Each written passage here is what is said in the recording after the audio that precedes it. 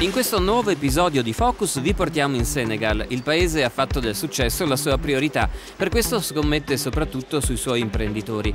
Va detto che certe piccole e medie imprese senegalesi sono veri gioielli. È il caso di questa azienda, che negli anni è diventata leader nell'agroalimentare, una storia di successo nata dal nulla.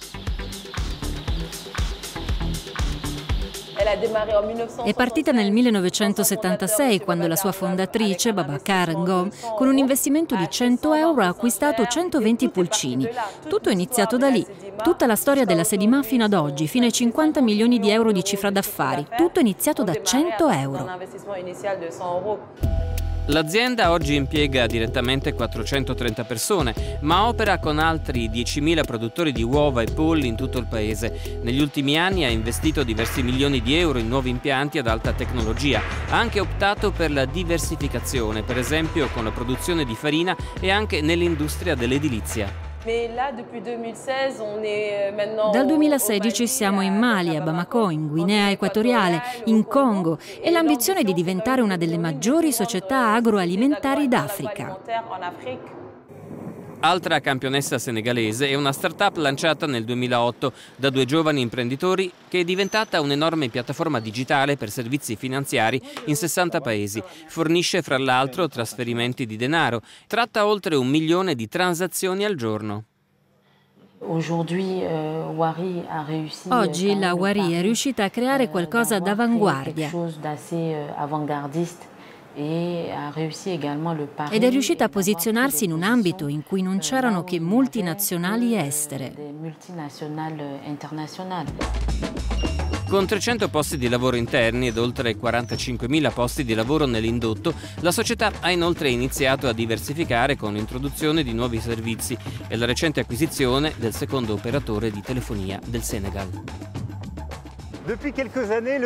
Negli ultimi anni il Senegal mostra un tasso di crescita fra il 6 e il 7% e continua a puntare a una crescita a due cifre. Ma al di là dei semplici numeri, i senegalesi spesso dicono che vogliono identificarsi in questa crescita. In altre parole, vogliono uno sviluppo di qualità, una crescita inclusiva che sia davvero palpabile nel loro quotidiano. Una crescita di cui tutti possano beneficiare. Pierre Ndiaye è colui che affina la strategia economica senegalese. Secondo lui non c'è crescita senza uno zoccolo duro di piccole e medie imprese. Vogliamo una crescita ordinata, una crescita inclusiva che non lascia da parte alcun senegalese. Per non lasciare da parte i senegalesi bisogna tener conto dei singoli imprenditori, le piccole e le medie imprese. Visto che l'accesso al finanziamento è fondamentale per gli imprenditori, una banca e diversi fondi specifici sono a loro dedicati. L'obiettivo è anche favorire l'accesso agli appalti pubblici e promuovere l'innovazione. I costi di creazione di un'impresa sono stati ridotti del 50% e tutte le formalità si svolgono online. Queste piattaforme elettroniche funzionali si consolideranno con l'entrata in vigore dei pagamenti telematici che daranno al Senegal un'amministrazione moderna con zero format cartacei per una buona trasparenza e una sicurezza efficace. Ci si sforza anche di velocizzare gli allacci all'acqua e all'elettricità.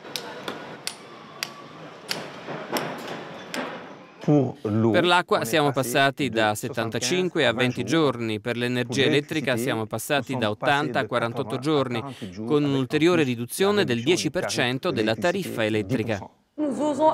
Osiamo fare investimenti in paesini remoti. Per esempio siamo andati fino a Notò, in una zona dove qualche anno fa non c'era né acqua né elettricità ed oggi, grazie a tutte queste infrastrutture, potremo impostare nuove incubatrici con capacità da 40 milioni di pulcini l'anno. Queste situazioni positive hanno generato delle vere dinamiche ben tangibili in Senegal. Per il direttore generale della piattaforma tutto ciò è una questione di fiducia in se stessi. Forza, provate e che nessuno vi dica che è impossibile. Siamo tutti molto ambiziosi, adesso per noi non ci sono limiti. E la prova è che le cose funzionano, tanto che gli investitori da tutto il mondo si interessano molto ai record delle aziende in Senegal.